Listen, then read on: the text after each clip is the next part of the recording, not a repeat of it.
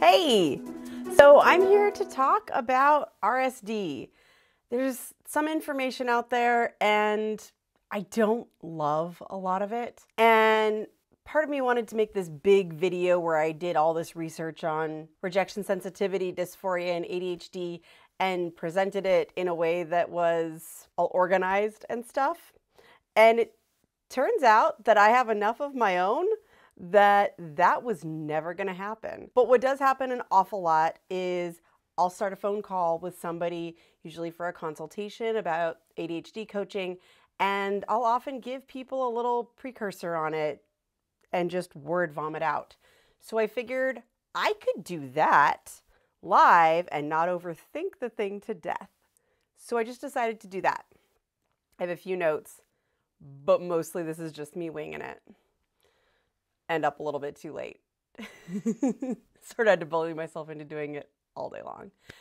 So, what is rejection sensitivity dysphoria? The way I'm talking about it, at the very least, it is a symptom of ADHD, and it's not one that gets a lot of attention. It's not running around chasing squirrels or daydreaming.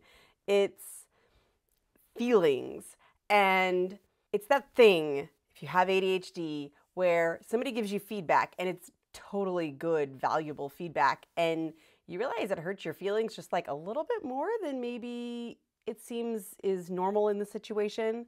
It's that thing. And, and like a lot of ADHD symptoms, it's not something that regular people don't experience all the time. It's just that little bit more. You know, everyone loses their keys a couple times. It's a matter of degree. So, rejection sensitivity, the way I view it, and this is not a common way to view it, it's a lot of these elevated feels things. It can be actual fear of rejection. You know, I'm afraid that this social group will reject me, and so I'm going to not uh, engage with them. It comes up a lot in times when we're looking for a job or filling out college applications, and that is literal rejection fear, right? It, it's so hard to put yourself out there like that. It can look like a lot of different things. It can be just that we do a little bit of extra negative self talk, that thing where eh, you sort of tell yourself you're not any good or you, why can't I just blank? It can be a little bit of that too it's sort of this overly negative interpretation, usually about ourselves or our perceptions of how other people view us. Sometimes it's just that extra imposter syndrome or feeding into perfectionism. I really have to get this just right, so blank. Again, why I'm doing this as a live stream and not a really fancy published video. Sometimes we'll feel like, oh, I need to do all this extra research before I start a thing. And that's one of the many ways that it can actually play into procrastination and other more commonly talked about ADHD symptoms. It can also be super hard to ask for help. We can be extra sensitive to that feeling like we're bothering somebody. Even though I know it's a totally normal thing in the business world that sometimes people are busy and they don't respond to your email the first time, and it doesn't mean they hate the thing that you proposed. Oh my gosh, is it hard to send that second email? It is really, really, really hard to send that second email. It was hard to send the first one, but if I need to send a follow up one and I don't already have a template ready to go that's, ah, I may just not send it. Oh, by the way, if you are in the wonderful ADHD position of having people to delegate to, sometimes it can actually make that part difficult too, even though there's somebody, hey, person, you could do these things that are not a good fit for my brain. Sometimes it can be still hard to do that extra delegation. it can also be really hard to take notice of the things we have done successfully. It turns out we have done things successfully, but we have such a focus on all the things we haven't done or that we worry we haven't done correctly that it can be hard to focus on those and, and to remain positive. This can look a little bit different in teens than when you're just talking about yourself. In a teen, what this can look like is, oh my gosh, all I asked you to do was pick up your towels. Why are you yelling at me and leaving the room? Okay, maybe you only asked them to pick up the towels, but what you didn't know is all day long, your teen with ADHD has had this negative self-talk going on, potentially. So all day long, there's, you know, this voice saying, you should have done this thing, you should have done this thing. And maybe it's homework they haven't done or overthinking the the social encounters that they had with their peers. but this negative voice all day long, your voice is just the only one that it's not going to make them feel crazy to yell back at. and and so you're going to get the brunt of it as as the parent. And that could be, "Oh, oh my kid doesn't care about doing their homework." Well, usually when you really break it down, they kind of care about things like moving up to the next grade level with their peers. But that doesn't always translate into action and and those hidden assignments usually in our heads they've grown huge compared to what they actually require us to do to finish them. And they've just become this mm, very negative, mean thing in anyone, not just teens. One of the ways that the RSD can work with procrastination is if we have something old and, and it already feels old. And feeling old may not mean it's actually overdue yet. It might just mean I told myself I was already going to start that. Therefore, in my head, it is overdue and what is wrong with you, you terrible person. Not true, but that's what that's doing. And sometimes I'll work with a client and, and I can see over our little Zoom, like, what's that pile of papers?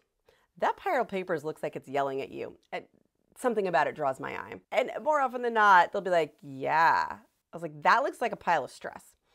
And, and what I can see in there is it contains these projects that they meant to do didn't want to put them in the filing cabinet because I have to remember to do it. But every time we're reminded of something to do at the wrong time, what that actually does is make it less likely for us to do the thing, not more likely to do the thing, because now we have this old guilt. So the older the things get, and again, like it doesn't have to be a due date. It could just be I had decided I was going to clean my garage and I keep not cleaning my garage. And so I'm still feeling bad about it. The harder it is to interface with them, and I really do believe this feeds back into the rejection sensitivity, we can get to the point where the thing, every time I think about doing the thing, whatever the thing is, there's also this dialogue that goes with it. And the dialogue could be like, why can't you ever just do the things? And and in it it could be attached to all these other things i remembered that i should have done that i feel bad about and so i'm just going to shut the whole thing down why would i want to interface with something that's just going to yell at me the second i open it one of the ways you can tackle it is with a buddy so what you do is you would sit down and actually look at it and read it over with somebody else there. It's it's like a virtual hand holding. And it can become a little bit less painful and a little bit easier to engage with some of that really old garbage. What are some of the ways we can tackle RSD? We can tackle it with groups. Uh, it's one of the reasons that ADHD support groups or guilds like mine can be really helpful is you're hearing other people's stories too. And that can reduce the amount of it's just me that feeds into that negative self talk pattern. Another way you can do things is focusing on wins. Maybe said ADHD group slash guild, maybe they're doing that too. But it's where you actually stop and recognize I have done stuff well and I have done stuff period. And that can start to refocus back onto the more positive things that we have actually done. Some people use a to did list.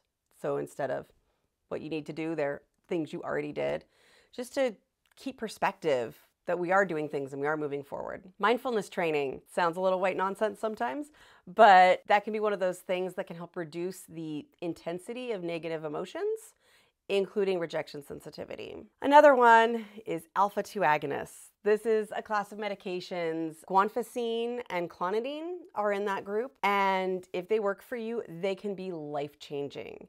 They can shift the focus from, oh my gosh, everything is my fault, to being able to view the world as a little bit more of a balanced place like it really is. And it can lessen rejection sensitivity a lot. Uh, some of the other benefits, and of course, not every drug works for every person, can be increased cognitive flexibility. So that thing where you hyperfocus a lot and it can get worse on stimulants for some people. Bringing something in like guanfacine or clonidine can bring it back into balance a little bit, pull out of those rabbit holes a little bit easier.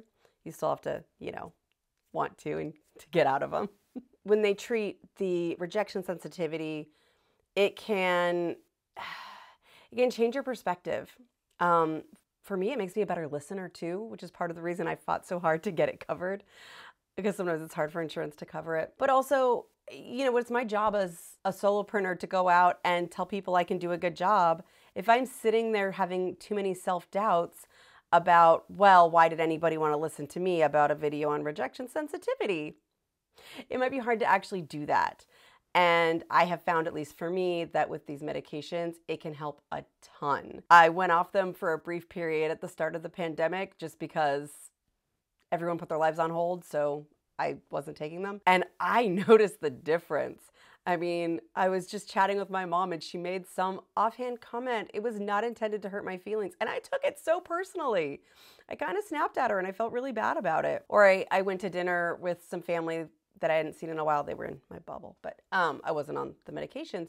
And I noticed that, that um, I, I was talking over people more and doing more interrupting than I had done in a while it was really easy to think, oh, I thought that was all my mindfulness and, and good stuff. And I was like, no, it was the medications too.